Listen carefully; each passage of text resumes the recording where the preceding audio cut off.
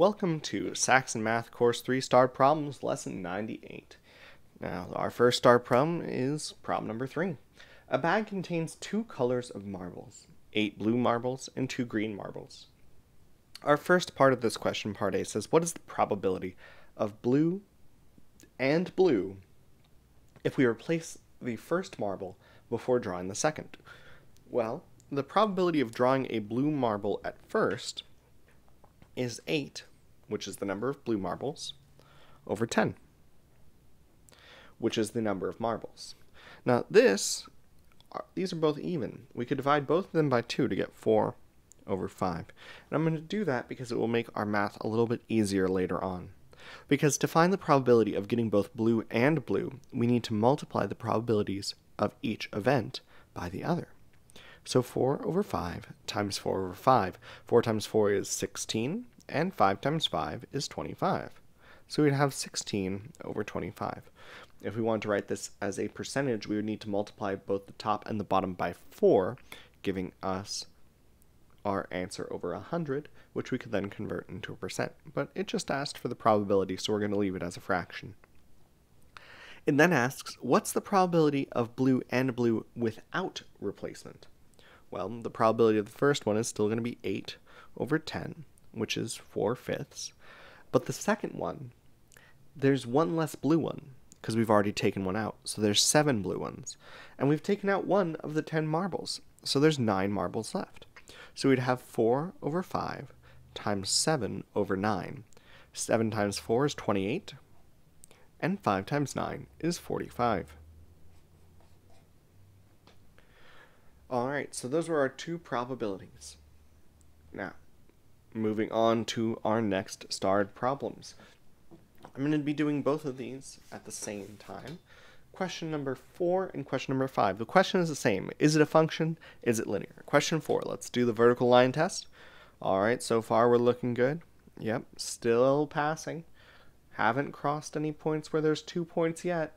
Alright, and it passed the vertical line test, which means it is a function. Now, the tough part is it linear? It is. It's a straight line.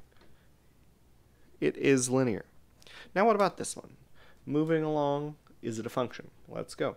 So far, I've only touched one point on the line, only one point on the line, only one point on the line, only one point on the line, and it passes the vertical line test.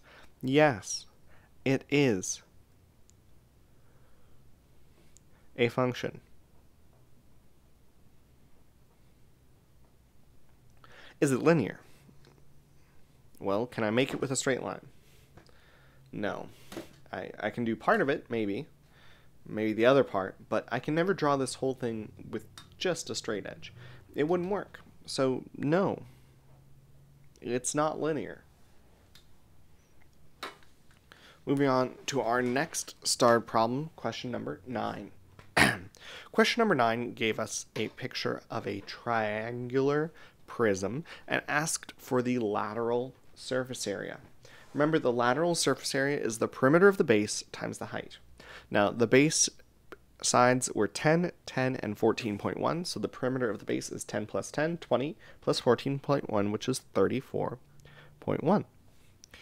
We're going to then multiply by the height given to us in the problem, which is 20, and 20 times 34.1 is 68 or sorry, 682.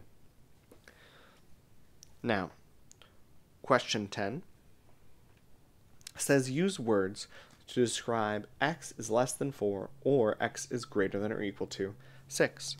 And its x is less than 4 or greater than or equal to 6. So x is less than 4. It doesn't have the little line, so it's going to be an open dot on 4. It's less than, so it's moving to the left. x is greater than or equal to 6 does have the little line that has equal to, so it will be a closed dot on 6. And greater than goes to the right. Remember, they both have that R sound. That's going that way. Now, in order to graph both of them, all we do is we take the graph of the first one, the graph of the second one, and since they're going in opposite directions and we have an OR function, we put everything on the graph. Remember, it's similar to the union. If it's in one graph or the other, it goes in the final one. OR is similar to union, and is similar to intersect. So we're going to have our open dot on the left, our closed dot on the right, and our two lines which are going through. And there we go. That's question 10. Question 11 says solve the system by graphing. Now, starting off here, our first equation is 4x plus 2y equals 8. Now, if we plug in 0 for x, we'd get 4 times 0, which is just 0, plus 2y equals 8. So 2y equals 8, so we're dividing both sides by 2. 2y divided by 2 is y, and 8 divided by 2 is 4. So when x is 0, y is 4. When y is 0, 2 times 0 is 0, so 4x equals 8. If we divide both sides by 4, 4x divided by 4 is x. 8 divided by 4 is 2. So we're going to have the point 0, 4, and 2, 0. And then we're going to graph that. This is our first line.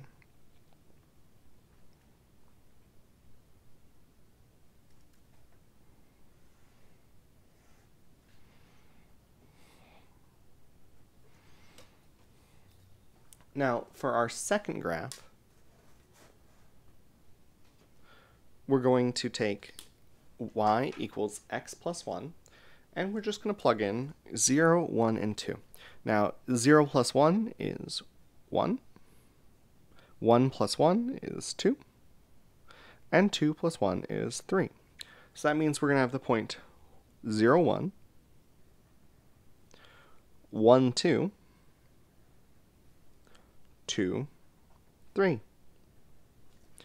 And we're going to graph that on our same graph.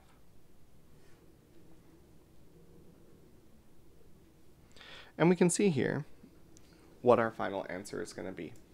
Our final answer will be that point that's on both lines, 1, comma 2.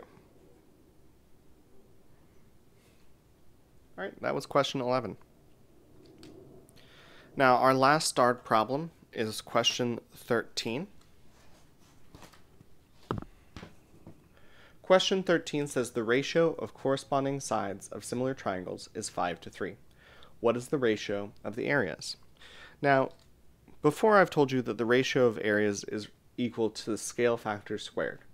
But the scale factor is found using the ratio of sides. So the ratio of the areas is the ratio of the sides squared. So if the sides ratio is 5 to 3, the areas is 5 squared, or 25, to 3 squared, which is 9. Now that's our last star problem. Stay safe, wash your hands, and do the rest of your homework.